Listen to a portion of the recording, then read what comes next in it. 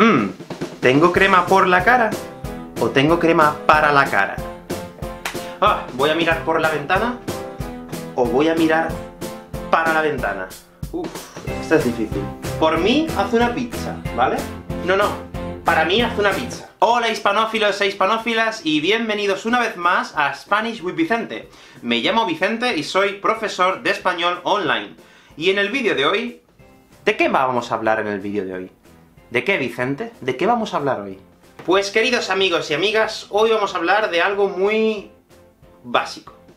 Sí, hoy vamos a hablar de algo muy básico. Y es que hoy vamos a hablar de por y para. Pero Vicente, yo ya entiendo el por y el para, no hace falta. Sí, sí hace falta que explique un poquito más. Porque siempre hay algo nuevo que aprender.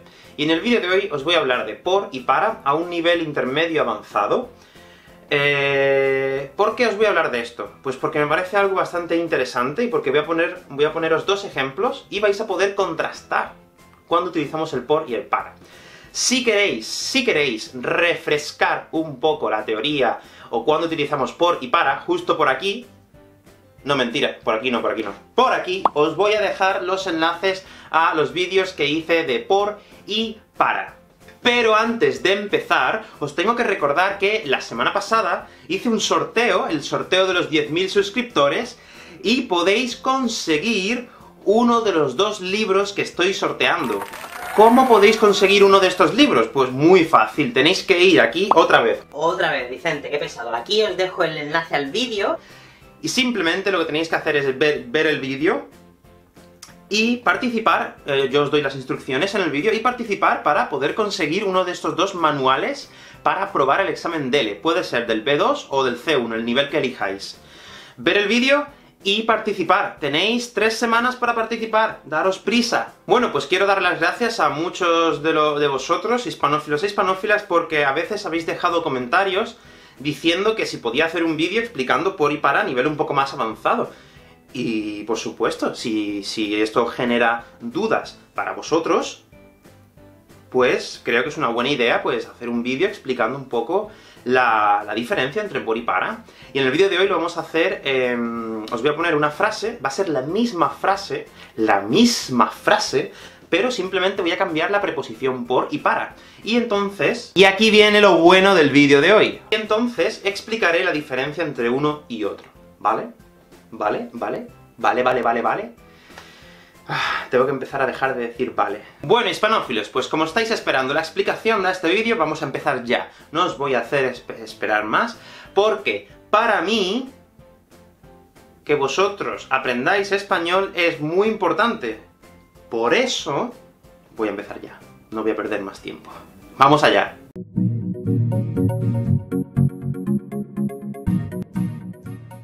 Bueno, pues vais a ver una frase aquí abajo, bueno, de hecho vais a ver dos frases. La carta ha sido escrita por mi amigo. O la carta ha sido escrita para mi amigo. Por mi amigo, para mi amigo. Hmm, ¿Cuál es la diferencia? ¿Cuál es la diferencia aquí en la, la carta ha sido escrita por mi amigo, la carta ha sido escrita para mi amigo? Pues en la primera frase, en la frase número uno, la carta ha sido escrita por mi amigo, significa que la persona que ha escrito la carta es mi amigo. Es mi amigo. Oh, hmm, me encanta escribir cartas. Y en la segunda frase, en el segundo ejemplo, significa que mi amigo es la persona que va a recibir la carta. Es el destinatario de la carta. Es para mi amigo para él. Él va a recibir la carta. Oh, ¿esta carta es para mí? Oh, muchas gracias.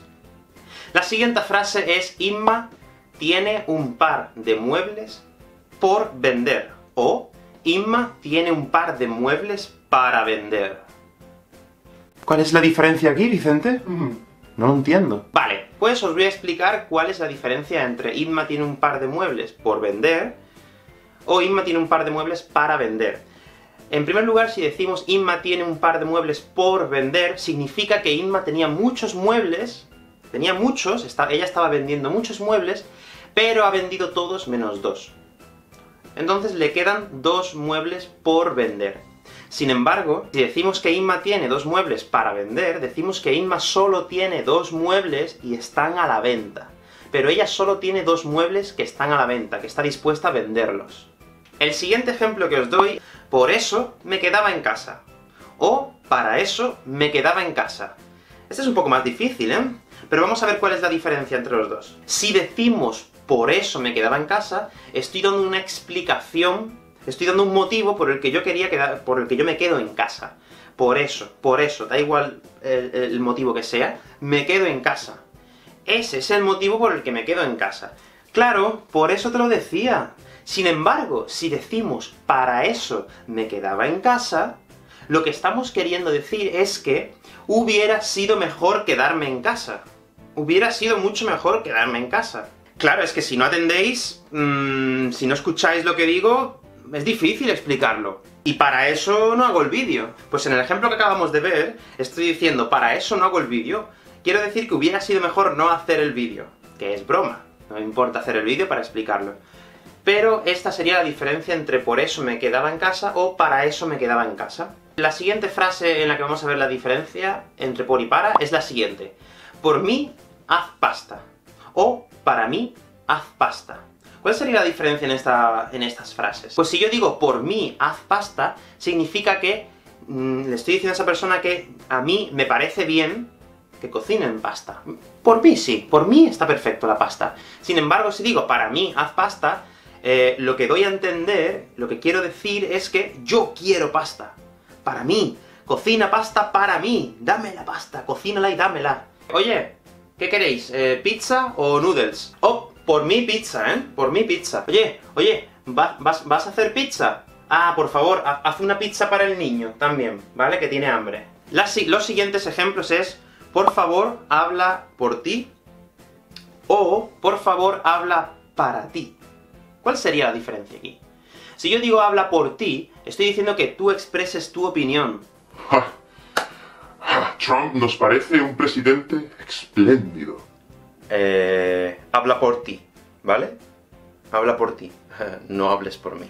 Sin embargo, si yo digo habla para ti, quiero decir que, por favor, habla en voz baja, por, habla para, para ti. Quiere decir que no hables en voz alta y te podamos escuchar los demás. La economía está experimentando un decrecimiento... Oh, no entiendo esto, ¿vale? Porque los índices de... Oye, por favor, habla para ti, ¿vale? Que estamos, estamos estudiando los demás. Habla para ti. La siguiente frase es... ¿Puedes limpiar por mí? ¿O puedes limpiar para mí? ¿Cuál sería la diferencia? Vamos a coger la primera frase, puedes limpiar por mí. Significa que esta persona tiene la responsabilidad de limpiar, pero no puede hacerlo. Y le pide a un amigo o una amiga que limpie por esa persona. ¿Puedes limpiar por mí? Por favor, no puedo. Tengo que ir a recoger a mi hijo al colegio, o tengo que hacer esto, tengo que hacer lo otro. Sin embargo, si decimos, por favor, ¿puedes limpiar para mí? Lo que estamos, lo que estamos diciendo con para mí es que si puedes, por ejemplo, venir a mi casa y limpiar mi casa, aunque yo esté allí, yo voy a estar en mi casa, puedes limpiar para mí, por favor. Es como, puedes trabajar para mí, puedes hacer esto para mí. Ah, no puedo trabajar el lunes. Tenía el billete comprado para el domingo. Por favor, ¿puedes trabajar el lunes por mí? Vale, vale, vale, vale. Pero lo hago por ti, ¿eh? Lo hago por ti. La siguiente frase está relacionada con el ejemplo que os he dicho al principio. Yo puedo decir, tengo crema por la cara, o tengo crema para la cara. Si digo tengo crema por la cara, significa que tengo crema esparcida por la cara. Pues yo me echo crema en la mano, y me la pongo por aquí, y ahora tengo crema por la cara. Sin embargo...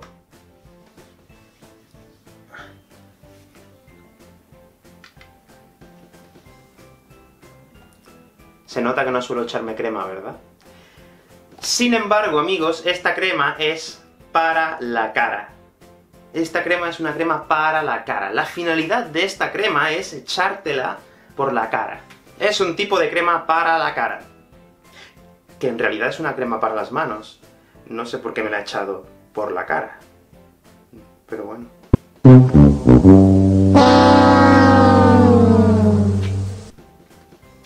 Da igual. Me habéis entendido lo que he querido decir, ¿no?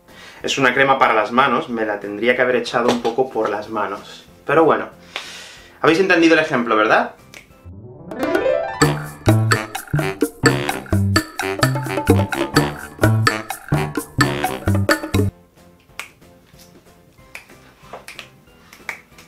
Voy a preparar la cena por la noche, o voy a preparar la cena para la noche. ¿Cuál es la diferencia? Sí que es verdad que son bastante parecidas, pero si yo digo voy a preparar la cena por la noche, digo en qué momento voy a preparar la cena. Voy a preparar la cena a las 9 o las 10, no hay prisa. Sin embargo, si digo voy a preparar la cena para la noche, significa que la voy a preparar ahora, con la finalidad de comérmela esta noche. La, la cena es para la noche, ¿vale? Por la noche voy a cocinar, voy a preparar la cena por la noche, significa que después, por la noche, voy a preparar la cena. Em, ¿Tienes que editar el vídeo para esta tarde? Ah, pues yo había pensado editar el vídeo por la noche. Pues no creo que sea una buena idea. Porque si quieres editar el vídeo por la noche, y el vídeo es para esta tarde, hay algo que no encaja. Ah, llevas razón. Tengo que editar el vídeo ahora, ¿verdad? Hombre, si quieres que esté listo para esta tarde, ¿a qué esperas? Venga. La siguiente frase es una de las más comunes y expresa la principal diferencia entre por y para. Si yo digo, mmm, me he comprado un coche por mi mujer, por ejemplo, me he comprado un coche por mi mujer, o me he comprado un coche para mi mujer, ¿en cuál de los dos ejemplos le voy a regalar el coche a mi mujer? ¿En, ¿He comprado un coche por mi mujer, o me he comprado un coche para mi mujer? Pues sí, me he comprado un coche para mi mujer, significa que el coche es para hacerle un regalo, para hacerle un regalo a mi mujer. Sin embargo, si digo me he comprado un coche por mi mujer, significa que la causa de comprarme el coche ha sido mi mujer. Mi mujer, por ejemplo, tiene su coche, pero no quiere compartirlo conmigo. Entonces, pues, por mi mujer yo me he comprado un coche, porque como ella no quiere compartir el coche, pues la causa ha sido que por ella me, me, me he tenido que comprar un coche. Sí, ha sido por eso. Y por último, un ejemplo que os lo voy a escenificar bastante bien ahora, y lo vais a entender, es mira por la ventana, o miro por la ventana, y miro para la ventana. Yo ahora mismo miro para la ventana, pero... Y ahora estoy mirando por la ventana. Ah, bonitas vistas. Uh -huh. Me encanta mirar por la ventana. Bueno, hispanófilos e hispanófilas, si os ha gustado el vídeo y queréis practicar un poco lo que os he comentado, podéis dejar dos ejemplos. Con, uno con por y otro con para, y si es la misma frase, si es la misma frase, pues mucho mejor, así podréis ver bien la diferencia. Si queréis, poder, podéis ir a la descripción, que os voy a, voy a... Voy a hacer como una secuencia de los 10 usos de por y para, así podéis, digamos, tomar una idea para dejar vuestro ejemplo. Creo que es una idea bastante buena. Hmm. Y también me gustaría que me dijerais eh, si habéis aprendido algo nuevo o no. Vicente, pues yo esto no lo conocía, o yo aquello no lo conocía. Esto es nuevo para mí, oh, esto ya lo sabía. Por favor, es muy importante para mí vuestro feedback. Necesito muchos feedbacks para seguir mejorando y aprendiendo con vosotros también, porque yo también aprendo cuando hago los vídeos. Y eso es todo, si quieres ser el primero o la primera en recibir notificaciones y ver los vídeos, simplemente activa las notificaciones aquí abajo al lado de la campanita, y, no, no, olvides suscribirte, por supuesto. Pues nada, eso es todo, espero que te haya gustado este vídeo, nos vemos la semana que viene. ¡Hasta luego!